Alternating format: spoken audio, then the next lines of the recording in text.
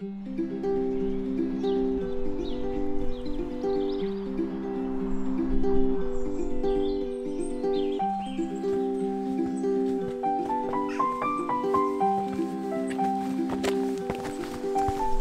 first impressions, this hike is starting completely differently to the other three that we've done over the Easter Bank holiday weekend. The village that we've parked up in is gorgeous. It's properly chocolate box, really old buildings that are just stunning. So old that some of them, the walls are like completely crooked. But I think what's also really nice is that it seems to be very well stocked for hikers. So there's a pub, there's some tea rooms, there's a village shop that sells sandwiches. I wish I'd known about that because it would have been really nice to have actually gone and shop local, bought some sandwiches to take out onto the hike, but we just didn't realise and we went and got a Tesco's meal deal. There's also a really small car park that operates on an honesty box situation. So they just ask for a £2 donation. And there's also some public toilets in there. And again, they just ask for a 20p donation. It also feels like we're much lower down here. Things just seem a little bit more green and a little bit more developed. So we've got things like flowers that I haven't seen in other parts of the Peak District so far.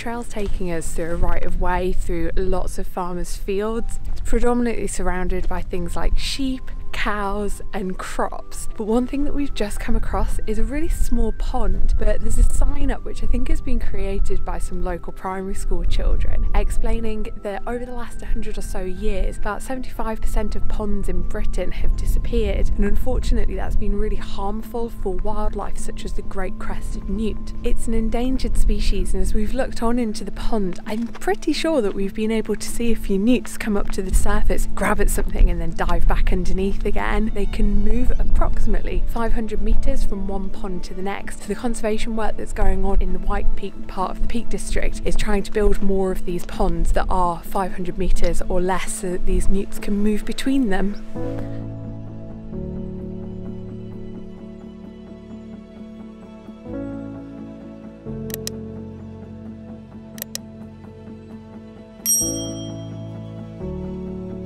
Those farmers' fields were just gradually taking us up and up. And then as soon as we've come out of them, this pathway is now gradually taking us further down. But there is quite a steep drop off on that side. I think if you're with young children, you definitely want to be keeping a close eye on them at this point. But because we are still relatively early on in spring, the leaves haven't come onto the trees yet. And it's just opened out to a really cool view of the viaduct. I think if you were coming though in summer or early autumn, you'd need to wait a little bit before you'd be able to get that that view over it.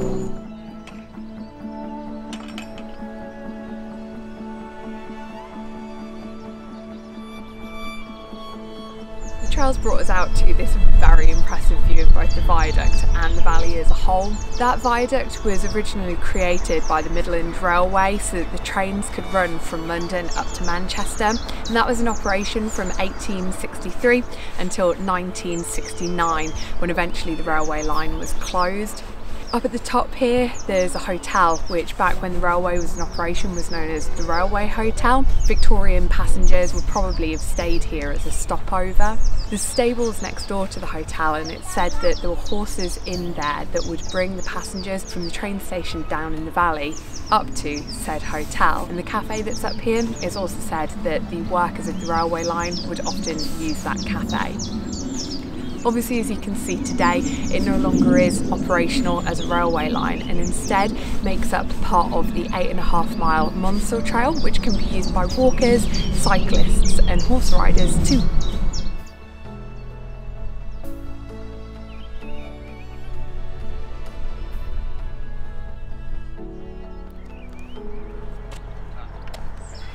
The pathway on all trails doesn't actually bring you down this side and instead you go across the top of the tunnel where the viaduct is and then you overshoot it.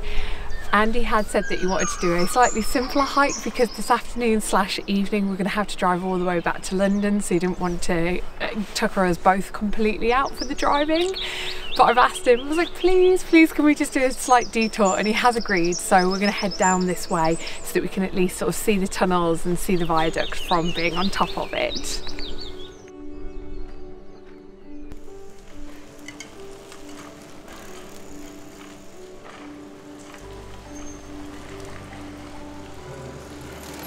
We've just popped very briefly into the Headstone Tunnel just to see what it's like because there's actually six of them along the Monsal Trail and it takes people from Wye Dale, which is quite close to Buxton, along to Bakewell, which is kind of where the Bakewell tart originally comes from, or Bakewell pudding as they like to call it. What's really cool is that the six tunnels along this Monsal Trail are lit, but they do turn off the lights at dusk.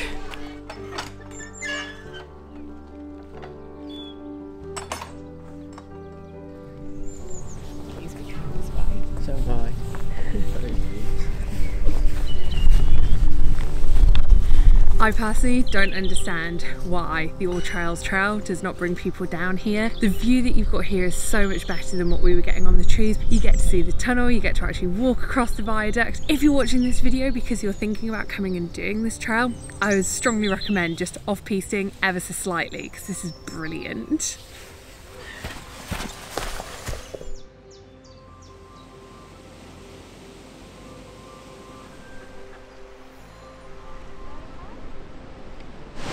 This part of the walk has then taken us past a gorgeous weir. Now, one thing that's probably worth mentioning is it's exactly this point where had we followed the All Trails Trail, it would have brought us out. So there's really not been too much of a detour at all. I, growing up in Tyne and Wear, always thought that when you hear the word Weir when it comes to a river, I just thought that it was with regards to the River Wear, but I appreciate that's spelled W-E-A-R, whereas these weirs are spelled W-E-I-R. And it turns out that it's a way in which the water can be controlled. So if they need for the water levels to be a little bit deeper for boats, they can help to make it deeper. And if there's the likelihood of flooding, it can also help control the amount of water that goes downstream to try and prevent said flooding. Further along that we've walked away from the weir, the crowds just seem to have completely died down. I think a lot of people will go from the viaduct out to that and then maybe back again. There have been some parts where the grassy beds have sort of plateaued out towards the river, so we have come across one or two people who've been picnicking or sunbathing. And then we've also come across some really unusual flowers that we've never seen on our hikes in the UK before, so that's been quite cool. If you know what they're called, if you could leave a comment in the comment section letting me know because we're a little bit stumped on this one.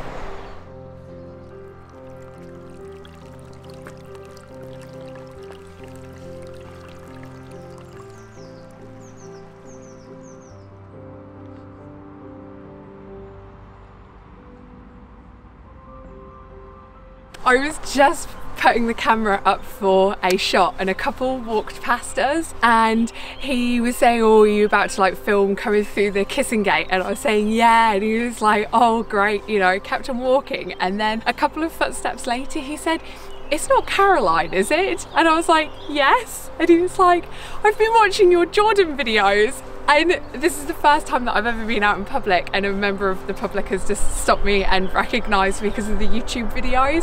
So obviously I'm just really, really elated at the moment. And I feel awful because I didn't actually catch what the chap's name was. So if you're watching this particular video, hi, um, and thank you so much. You've absolutely made my day today.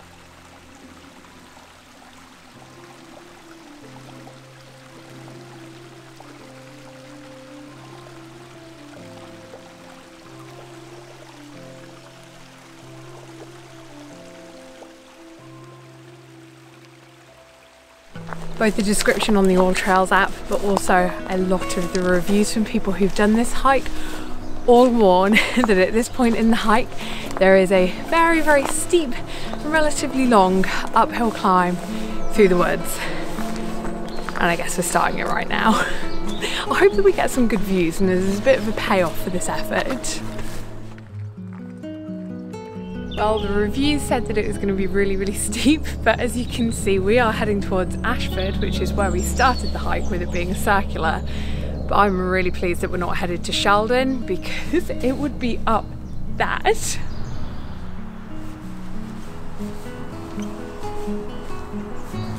I started off today's hike saying that the area that we'd come to today just feels very, very different to the areas that we've been hiking in over the last three days.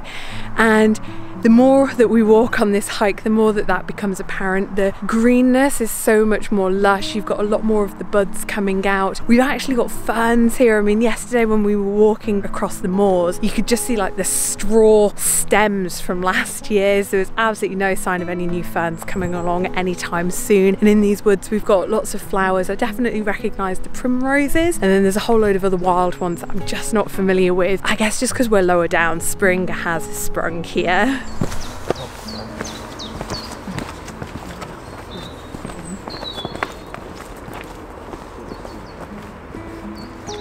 Andy, what can you smell right now? Garlic. Lots of garlic. Why do you think that might be? It says loads of wild garlic. This reminds me of both Scotland when we were on the Isle of Skye and also when we did that hike from Knole Deer Park to Ightham Mote, but I kept on calling it Igatham and then everyone told me in the comments you're pronouncing it wrong. The trail's taken us straight past this, which is the Ashford Bobbin Mill. It originally was used as a bone mill, and then later they believed that it was probably a mill for timber.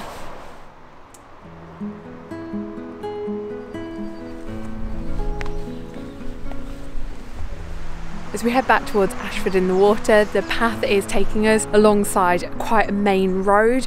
I haven't minded so much the noise of the cars just because it has been very dampened, but there is most definitely a group of motorcyclists who are just going back and forth. I guess because of how twisty and bendy it is, it must be a lot of fun on a motorcycle, but the engines are so incredibly loud. I think that maybe if you were to come on a slightly more fortunate day when you don't have the motorcyclists, it might not be quite as bad.